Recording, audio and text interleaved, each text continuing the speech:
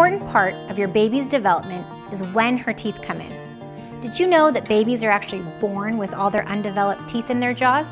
They're known as tooth buds, and they're the foundations of what will become baby teeth. When they are ready, they push through the gums. Baby teeth are very important to your child's health and development. They help him or her to chew, speak, and smile. When your baby is between four to six months, the first tooth may begin to appear.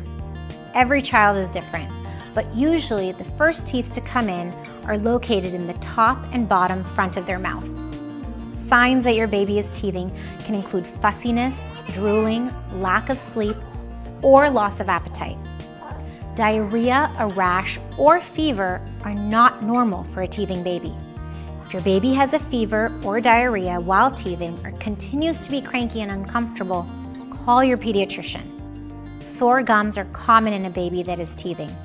Gently rubbing your baby's gums with a clean finger, a cool teething ring, or a moist gauze pad can be soothing. Avoid over-the-counter benzocaine products for children younger than two. Most children have their full set of 20 baby teeth in place by age three. Adult teeth start to appear around age six. Time flies so fast that pretty soon she'll be placing her tooth under her pillow for the tooth fairy.